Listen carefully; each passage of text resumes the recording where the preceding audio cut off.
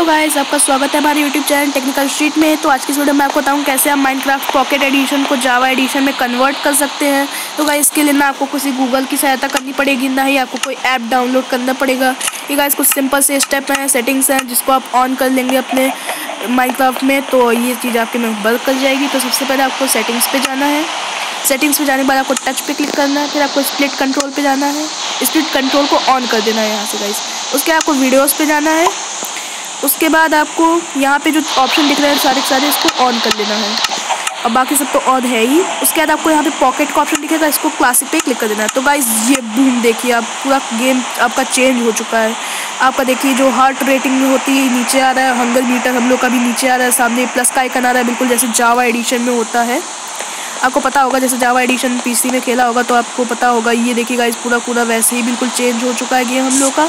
अब मैं आपको नॉर्मल करके दिखा देता हूँ। नॉर्मल नहीं, और आपको देखेंगे, ये चीज़ भी बदली बदली दिखेगी, ये देखिएगा इस आपको पूरी पूरी बदली चीज़ दिख रही है। तो मैं इसको नॉर्मल कैसे अगर करना हो तो नॉर्मल पे जाके वही इस प्लेट को बंद कर दीजिए, उसके बाद वीडियोस पे जाइए। फिर आपको इन सबको क्या करना होगा, क्योंकि मान लीजिए आपको नहीं करना तो इसके लिए आपको बंद कर देना है, उसके बाद पॉकेट से क्लासिक से पॉकेट पे क्लिक कर देना है। तो आप देख सकते हैं बिल्कुल वैसा कि वैसा हो गया हंगर मीटर हम लोग का ऊपर दिखा रहा है हार्ट रेटिंग ऊपर दिखा रहा है।